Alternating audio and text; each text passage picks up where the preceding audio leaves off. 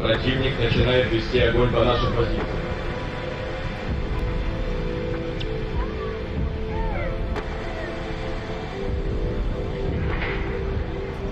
Объявляется боевая тревога.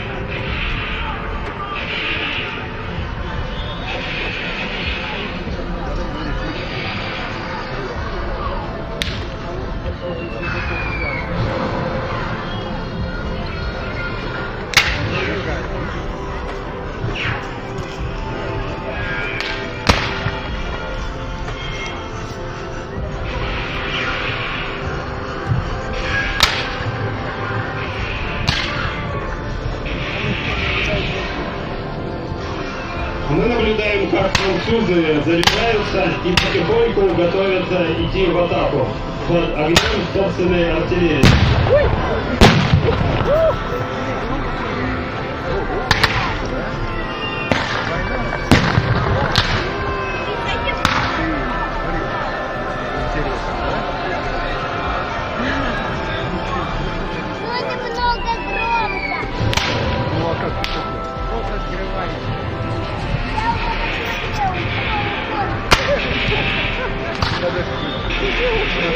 Французские войска прячутся в траншеях, импровизированных траншеях. Давайте представим себе, что там устремление в эту траншею. Французы переходят в атаку, но они идут не линейным строем, как это было принято в середине 19 века, а используют так называемую тактику ведения огня цепями. То есть здесь на малом кургане достаточно сложный рельеф и используют линейную тактику, когда выстраиваются нападающие в одну линию. Обычно так воевали во время наполеоновских войн, Крымскую войну, но если позволял рельеф местности, то есть это достаточно не и возвышенно, а ровная местность.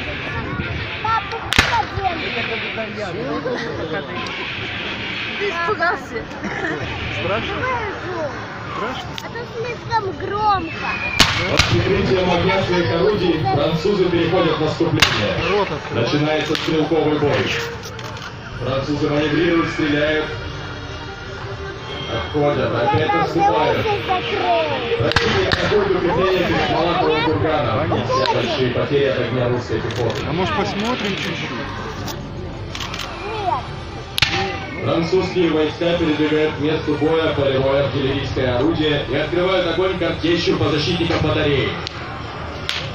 Несмотря на картечный огонь,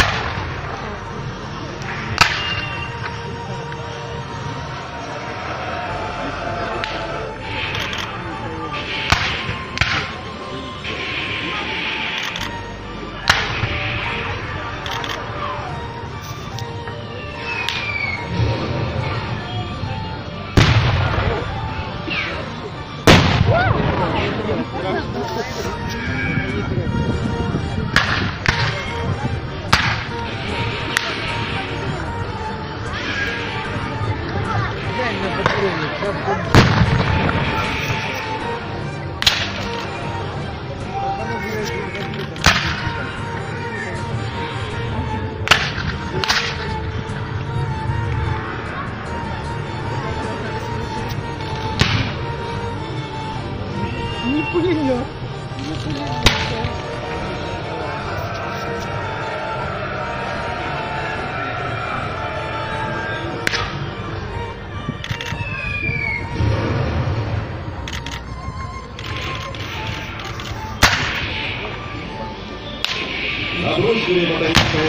стрелки и ведут прицельный ружейный огонь по наступающему врагу.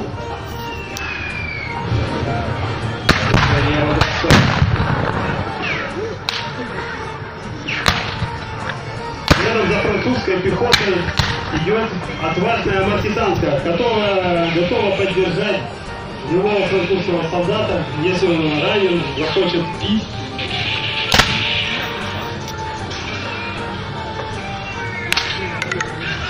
Французы все ближе и ближе, уже практически в 10 метрах от батареи русской артиллерии.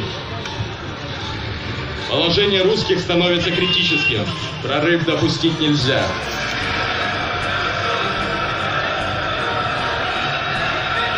Французская артиллерия продолжает работу.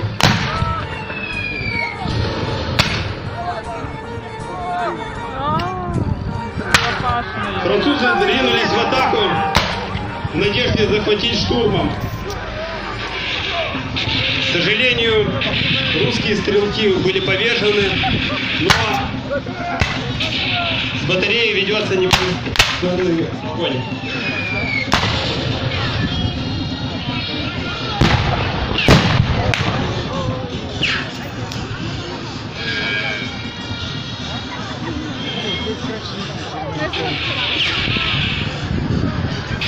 Среди синих мундиров французов вы видите красный мундир с белыми перевязями. Это англичанин. Видимо, он вызвался добровольцем, чтобы первым забраться на Малахов курган, но не судьба.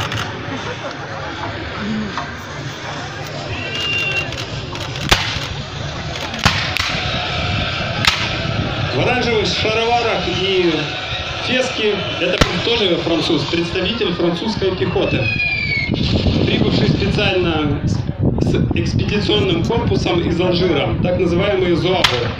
В Крымскую войну под Севастополем воевало три полка зуавов.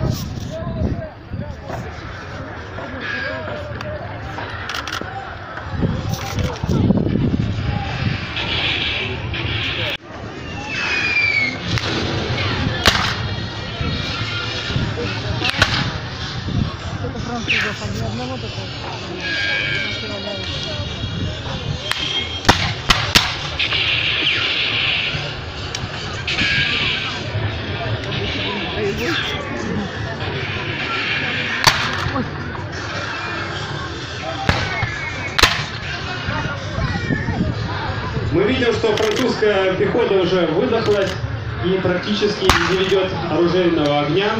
Это говорит о том, что разрыв, разгром неподалеку. Ну вот два смельчака бросились в атаку.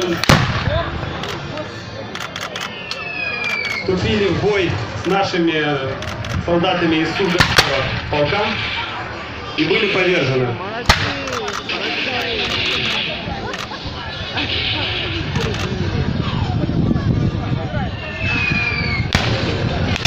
Батарее раздается звук горна, призывающий собрать все силы в атаку и отбить штурм француза. Он одного в плен ставит.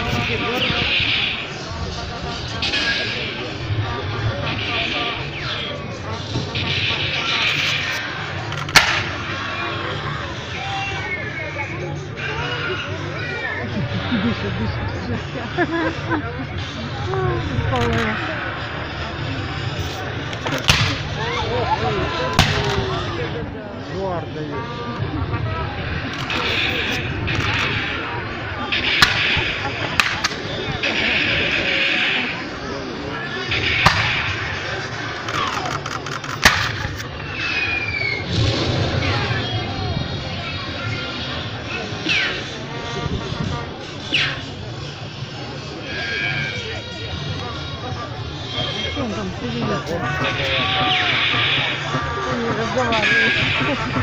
好难了。